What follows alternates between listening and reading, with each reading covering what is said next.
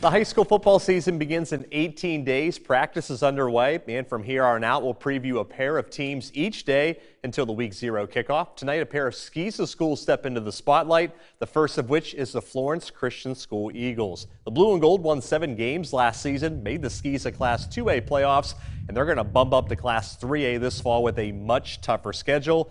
FCS returns the Huntley boys, Jewel at quarterback, along with offensive and defensive playmaker Jules. Nine starters back on offense with nearly their entire, offensive line intact. Jamison Berry will be a key cog on defense at linebacker. Coach Neil Mitten has more with FCS. And we got you know a little over 40 kids, which is great. Um, we have a really good mix of experience and um, a lot of young, hungry players. You know, we had a lot of freshmen last year that are sophomores now that are trying to work hard to get on the field. I mean, we have one of the best, probably the best freshman class I've ever had. We, we do. We have a lot of we have a lot of really good role players, which um, I'm excited about. You know, we're not relying on one or two superstars or college players. We got a lot of good high school football players. Some that are going to play at the next level for sure, and um, you know, we're excited about where our team is right now.